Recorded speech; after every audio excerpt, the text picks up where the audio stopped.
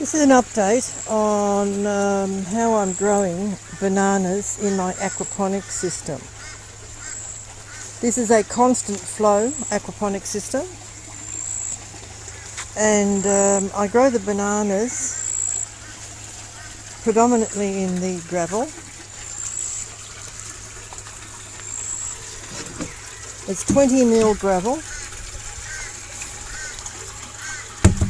and as you can see the gravel sits about 6 inches or 200 millimeters to 250 millimeters above the waterline. The roots actually make their way down into the water but also in amongst the gravel. These have been in about two and a half months and they're doing very very well.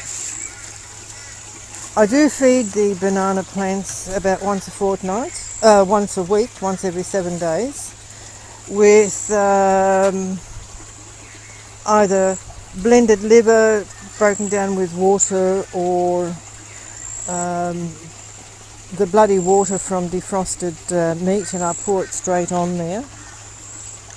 Making sure that in fact it does, there is not enough to drain into my fish pond water because that would then um, give the uh, nitrite a boost or the ammonia levels as well and I don't want that. The bananas will have to be fed once a week for their lifetime and when they're fruiting I give them a little bit more. And this is my other aquaponic system. And in this system I have the pawpaws growing. Again, this is a constant flow aquaponic system. These are bisexual pawpaws which have both the male and female flower on the same tree. Again, the tree sits above the water line and the roots work their way along the gravel you can see some of the roots here, right, but you can also see them there. A nice healthy tree with big beautiful pawpaws and more flowers coming up here. These are the red pawpaws and here is my other pawpaw tree. Also sitting in the gravel, well above the waterline,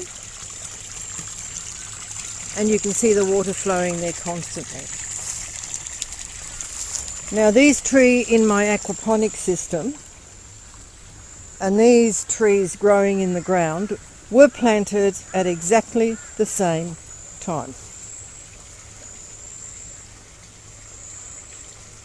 They're fed the same food, now my pawpaws I also give the um, liver that I blend in a blender to break it up into a very very fine soup